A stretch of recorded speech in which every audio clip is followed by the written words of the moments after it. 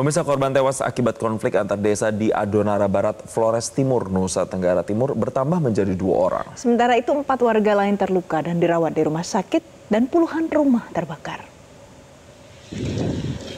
Ada 51 rumah di desa Bugalima, Kecamatan Adonara Barat, Kabupaten Flores Timur, Nusa Tenggara Timur, rusak dan terbakar setelah diserang oleh sekelompok warga dari desa Ilepati. Akibat penyerangan ini, jumlah korban tewas menjadi dua orang.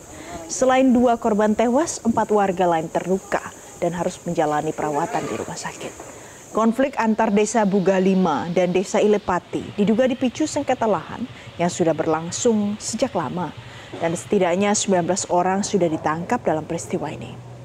Kabit Humas Polda NTT Kombes Pol Arya Sandi mengatakan Polda NTT telah menurunkan pasukan BKO sebanyak 96 personel, polisi dan juga brimob untuk membantu mengamankan daerah konflik ini. Selain itu, tim trauma healing juga didatangkan untuk membantu warga menghilangkan trauma akibat peristiwa ini. Kemudian ada yang korban luka akibat tembakan senapan angin dan senjata tajam yang dirujuk ke rumah sakit itu ada empat orang dan dua orang meninggal.